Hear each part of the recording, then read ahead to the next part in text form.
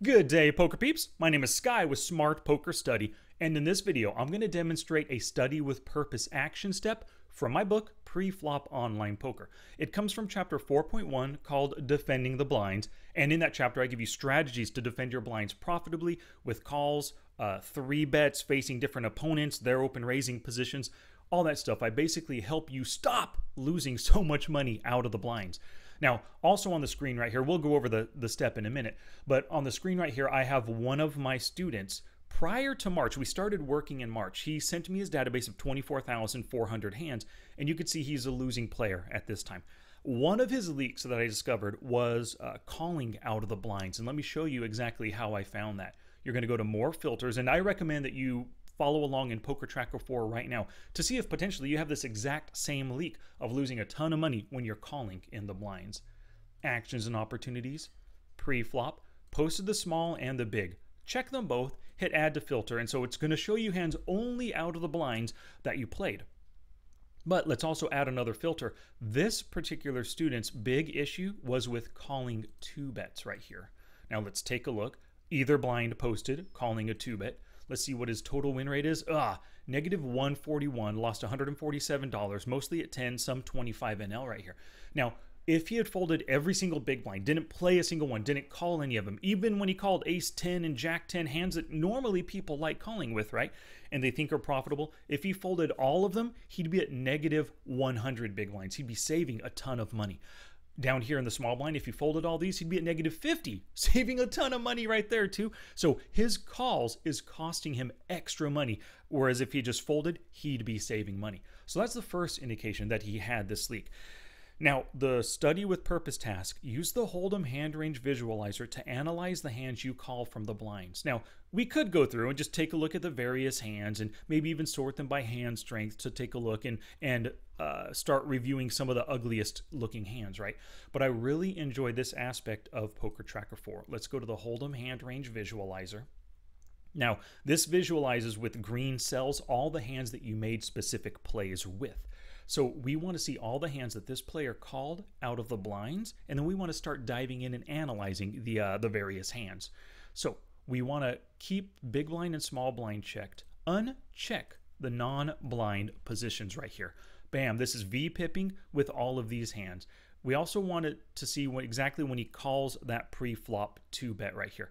Now, you might not have this as a heat map statistic, because I think I had to add it. I don't think it's part of the default hit the little wrench icon here, type in eh, 2-bet, and then you can see call preflop 2-bet. Double click it, it'll populate it at the bottom of the list, hit OK, and then bam, you can select it as a heat map statistic. So for this particular player, these are all the hands that he called with out of the small blind and the big blind, or the big blind, uh, a, a pre-flop 2-bet. Now let's take a look at some of these, you know, oh, so the study with purpose, use the Hold'em hand range visualizer to analyze the hands that you call with out of the blinds. Look for questionable hands, hands that like just on the face of it, uh, like for example, Queen Five offsuit right here. Wow, we called with a Queen Five offsuit. In what world is that a good call? That is a terrible hand. It's probably a bottom 10 or 12% hand potentially. Uh, so review these questionable hands, review them, find and record your mistakes, and work to not repeat them. So we're going to take a look at a few different hands right here. Let's start with that Queen 5 offsuit. So you're just going to click it, and it's going to show you all the times that you called. So at 25 NL, he lost $5 or 20 big blinds with a Queen 5. And look at that board. Didn't even have a pair here. What happened at this point? So open raise to three big blinds, a call, and then uh, Hero ends up calling as well. Overcalling now, yeah, sure, you might think you're getting a good price and it costs two big blinds, but Queen 5 offsuit has a very, very low likelihood of taking this pot down, of winning it for value, or potentially bluffing at some point versus uh, the open raiser, who you don't even, the HUD hasn't even popped up. You don't know anything about this player. Queen 5 off is not not a good hand to be defending with. Just not strong enough. It's not even suited. It doesn't even have flush potential. If you hit a king on the board, you're basically just going to be checking it down, maybe calling a few bets, hoping to get to showdown pretty cheap, and hoping your queen wins, right? But he calls right here. Now, flopping the gut shot, the five doesn't do anything for you. But look at that. Everybody checks around. So the seven hits Doesn't necessarily help anybody, but I like how Hero decides to put out a bet. Now it's less than half pot. If you're going to bluff, bluff at greater than 50% pot, right? Show them you mean business. Imagine you had a 10. Are you really just going to bet less than half pot? Or are you going to hope that somebody has a 9 or a 7 and is willing to pay 55%, 60% pot? Probably a little bit more. Your bluff needs to tell a convincing story. He calls, and then right there, the ace hits. Now, is that really a scare card for your opponent? I mean, the goal right here with this bet is to get him to fold, and I like the size of the bet, but maybe that's not a scare card if he called with a nine or an eight, but you bet on the turn, he's not going to put you on an ace. He's going to think his pair of nines or maybe an eight is good. So he called, oh, Jack seven, two pair. He ended up having. So he had a terrible open raising hand. Not terrible. He had fold equity on his side, open raising. Not a bad play on his part. But your call, um, and then the small bet size on the turn wasn't good enough to, to win that pot for sure. So that's a queen five offsuit. Let's take a look at another questionable hand right here. Look at that king three offsuit. 25 NL lost eight big blinds with this one. A min open raise, okay. And then a call. Oh man, so first off, king three offsuit, it's just as bad as a queen five, right? So we can say like you're making that same kind of mistake again, king three off now. Uh, just a terrible hand to be calling with. Now, you also did not, didn't complete the action from the small blind with a three better still to act. So your call right here, what that does is you're telling villain six, who's a loose aggressive 27 23, he should actually be color coded orange because he's a lag player, right? Uh, also, three bets at 12% right here. You're telling him that you are super weak because you just called. If you had aces, kings, ace, king, pocket queens, jacks, you probably would have three bet right now. So he knows that you're super weak. This guy, looking possibly loose aggressive, open raised, a min raise from the cutoff. Wow, or from the button, I mean to say. Wow, he's got a really wide range. There's a great opportunity for a three bet squeeze to just take the pot down right now. And he does it. He makes it only eight big blinds. I would have made it a little bit bigger on his behalf just to convince you more to fold, right? But then you get a call, and then you call as well. So tell me, King three offsuit. First off, you thought it was worth two big blinds to enter the pot out of position against two other players. Okay, two big blinds. I can't defend that, but I can see why you would make that call but is it worth eight big blinds and additional six pre-flop to put yourself out of position against two lags with a crappy king? Eight big blinds? No, it's not. So calling a three bet out of position versus two others. Just giving way too much value to your opponent. So you can see we've just reviewed two hands. We found four different pretty big mistakes here. Flop comes does not help you one bit. You check 19 big blind c bet. Pretty hefty c bet right there. Fold. And of course, you're going to fold. I love the fold. That's the best play of this hand right here let's take a look here.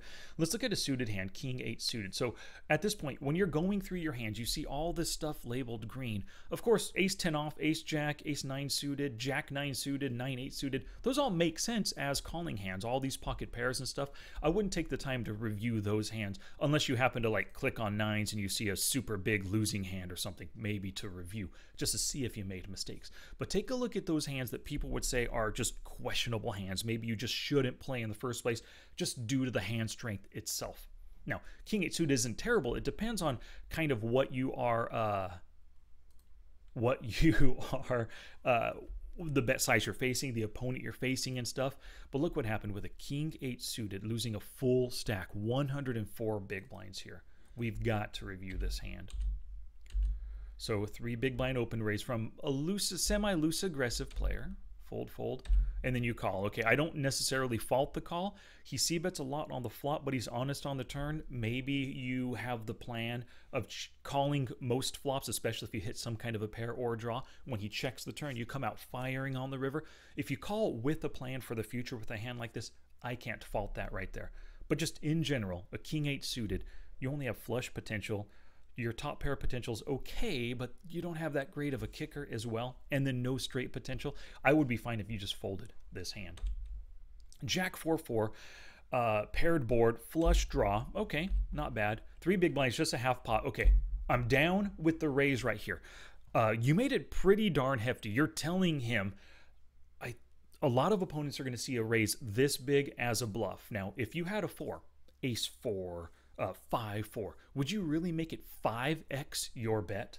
You probably wouldn't. You'd probably be raising smaller, two and a half to three times his bet. You'd be making it roughly eight, nine big blinds right around there to get value to convince him to call with an overpair, and you've got that trip fours for max value.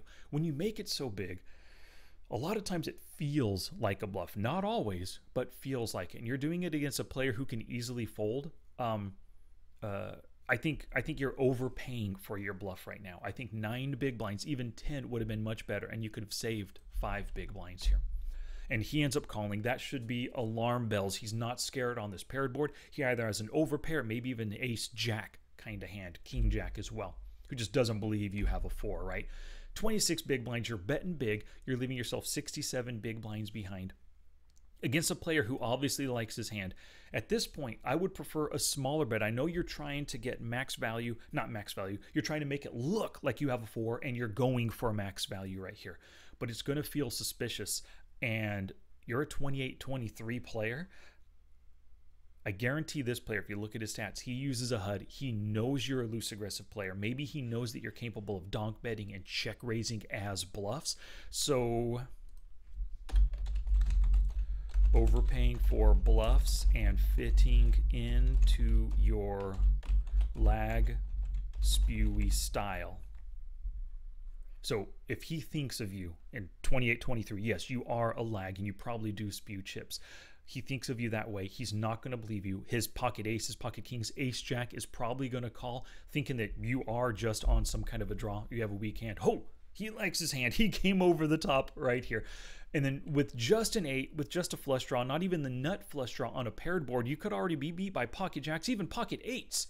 I know there's only one of those possible because you have one and one on the board, but I mean, there's so much stuff that's going to shove here. I really, I highly doubt he's reshoving as just a bluff against you right now but then you call, you need 29% equity, but mm, maybe you're getting roughly that right here if we think about a flush draw plus an eight if he doesn't have an eight uh, plus the three kings maybe you do have some outs to to to a hand that can beat his overpair right now so you're probably getting roughly the right amount of money or right odds to be making this call but i hate it you put yourself in a bad spot by calling pre-flop with such an underwhelming hand 8 5, then the 9 hits, and of course he turns over pocket aces. There's no way you're getting that to fold.